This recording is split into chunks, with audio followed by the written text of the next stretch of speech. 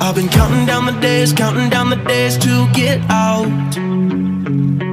I've been looking for a way, looking for hello guys welcome back to the new video of my गाड़ी garage और guys आज हम यार आपके लिए लेके आए हैं 2022 की मारुति बलिनो का बिल्कुल बेस वेरिएंट की आपको सबसे बेस रेट में क्या कुछ देखने को मिलता है, क्या क्या गाइस आपको फीचर मिलते हैं, कैसी लुक्स हैं और क्या इस बेस वेरिएंट को परचेस करना है वैल्यू फॉर मनी है कि नहीं गाइस तो इन्हीं सब चीज़ों के बारे में गाइस आज हम आपसे इस वीडियो में बात करने वाले हैं। तो गाइस चैनल पर न्यू है तो गाइस चैनल को तो सब्सक्राइब कर लीजिए।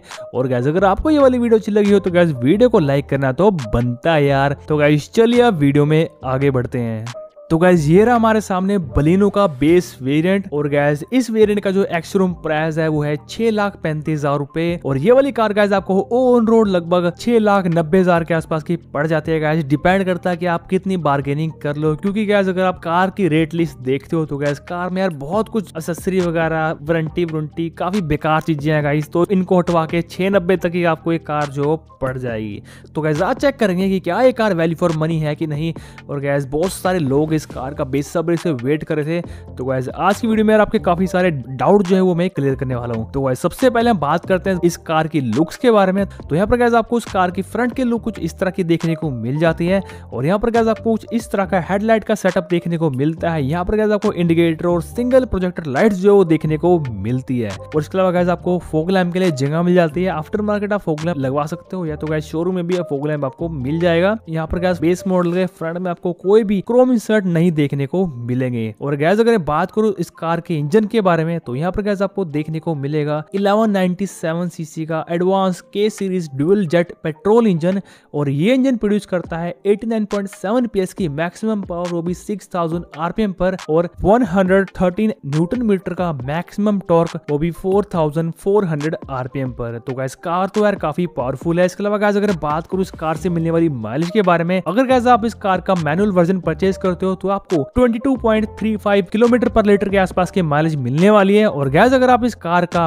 ऑटोमेटिक वर्जन परचेज करते हो तो आपको 22.95 किलोमीटर पर लीटर की आराम से माइलेज जो देखने को मिल जाती है। तो गैस माइलेज फिगर तो इस कार की काफ़ी अच्छी है। और इसके अलावा गैस जो भी इस कार के डिमेंशन है, वो आप अपनी स्क्रीन के ऊपर फ़िलहाल अभी देख रहे होंगे। यहाँ पर गैस अगर बात की जाए इस कार के रेयर के बारे में तो गैस रेयर से लुक कुछ इस तरह का है। यहाँ पर आपको रेयर में signature style LED tail light देखने को मिलेगी। तो गैस रेयर से तो लुक काफ़ी ज़बरदस्त है इस कार का। इसके अलावा गैस आपको डोर हैंडल हो गए साइड मिरर हो गए, वो गैस आपको ब्लैक कलर के देखने को मिलेंगे। और गैस अगर आप ये वाली कार परचेस करते हो तो गैस या तो आप इन डोर हैंडल के ऊपर क्रोम चढ़वा सकते हो, और इसके अलावा गैस रेयर व्यू मिरर को आप पेंट करा सकते हो, जिससे इस कार की लुक्स है वो काफ़ी बेहतर उभर के आ जाएँगी। और यहाँ पर गैस आपको इस कार में फिफ्टीन इंचेस के सिंपल स्टील रिम जो है वो देखने को मिल जाते हैं। आपको इस वेरियंट में कोई भी व्हील कैप देखने को नहीं मिलता। और इसके अलावा रेयर पार्किंग सेंसर तो गाइज़ हर एक वेरियंट में आपको स्टैंडर्ड फीचर देखने को मिलता है। तो गाइज़ अब कार के अंदर जाके देखते हैं और चेक करते हैं कि आपको क्या कुछ इस कार में देखने को मिलता है। तो गाइज़ कार के अंदर से यार लुक कार का कुछ इस तरह का आपको देखने को मिलता है। यहाँ पर गाइज़ आपको कार में सिर्फ़ सिंपल स्टेयरिंग व्हील देखने को मिलेगा। इसके अलावा गाइज़ आपको इस कार में ना ही इंफोटेनमेंट सिस्टम मिलेगा, ना ही गाइज़ आपको इस कार में स्पीकर मिलेंगे। तो गाइज़ ये तो गाइज़ आपको आफ्टर मार्केट जाके लगवाना पड़ेगा। इसके अलावा गाइज़ जो सबसे बढ़िया चीज़ मेरे को इस कार में लगी, वो ये था गाइज़ की कहने को तो गाइज़ ये बेस मॉडल है बट गाइज़ आपको इस कार में ऑल फोर पावर विंडो मिलती है। इसके अलावा आपको ऑटोमेटिक क्लाइमेट कंट्रोल भी इस कार में देखने को मिल जाता। इसके अलावा अगर आपको जो साइड मिरर होंगे इस कार के, वो खुद ही एडजस्ट करने पड़ेंगे। आपको कार के अंदर कोई भी इनको एडजस्ट करने का जो जोस्टिक है, वो नहीं देखने को मिलने वाला है। तो गैस अगर आपको वो वाला फीचर चाहिए तो गैस आपको इस कार का थोड़ा अपर वेरियंट को परचेज करना पड़ेगा।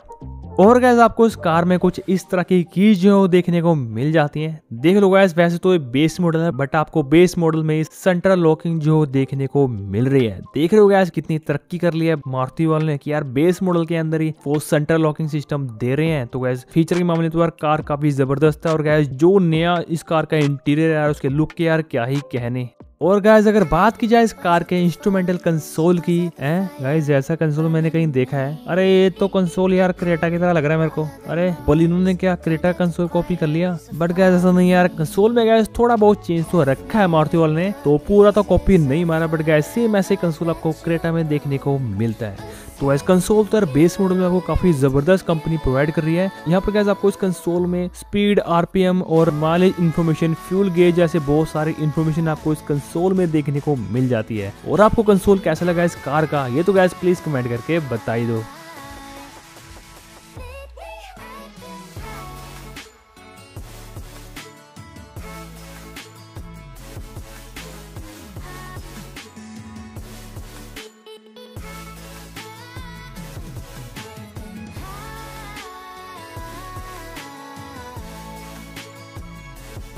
तो गाइज़ उम्मीद करता हूँ कि आपको ये वाला वीडियो अच्छा लगा होगा। अगर गैस वीडियो अच्छा लगा तो वीडियो को तो यार लाइक करना बनता है और गैस इस चैनल को भी सब्सक्राइब कर दीजिए ताकि गैस इन फ्यूचर आप ऐसी और वीडियो देख पाए। तो गैस बहुत ही जल्द मिलेंगे आपसे नई वीडियो में नए टॉपिक के साथ। आपका दिन शुभ रहे।